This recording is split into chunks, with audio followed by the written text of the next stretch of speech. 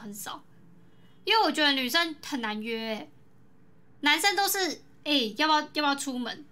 然后他们就说他们就看一下时间，就说哎、我现在在忙，我可能要等下过个十十十几分钟还是一个小时之后才可以出门，我就说好啊，那我等你啊，一个小时之后，对我们都是这样约，可是你要跟女生这样约的话不太可能，女生可能要提早一个礼拜约，哎、下礼拜下礼拜几几几可不可以出门？对，女生大概要提早一个礼拜约，啊，男生可能就是当天约就可以了。